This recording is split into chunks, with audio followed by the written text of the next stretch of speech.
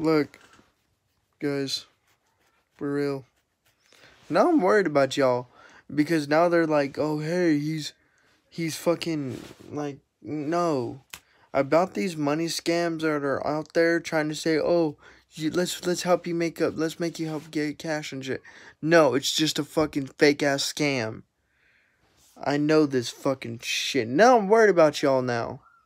I'm worried about y'all skins out there. Fuck.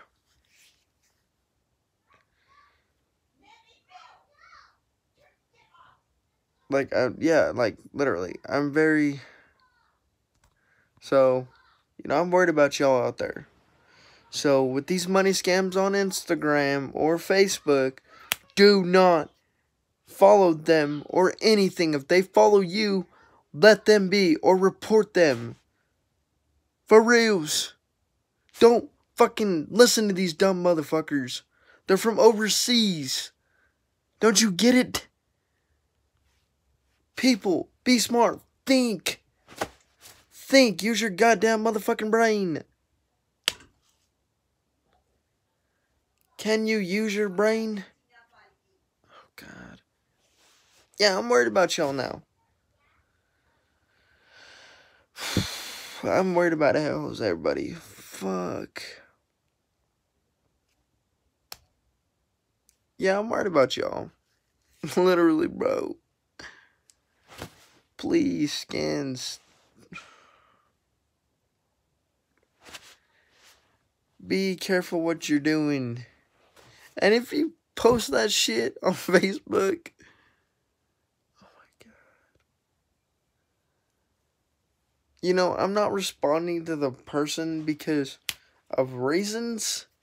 Because these people, they're hitting me up. They say, hey, you want some money? No, I don't really want your fucking money. I can work for my own fucking money. So if you wanna, if you really want money that bad, go get a motherfucking job. That's simple. I'm being dead ass serious. No, no, literally, bro. Because these people that are scammers and shit, they want to sit there and say that, oh, hey, we can do this. No, they won't fucking do shit for you.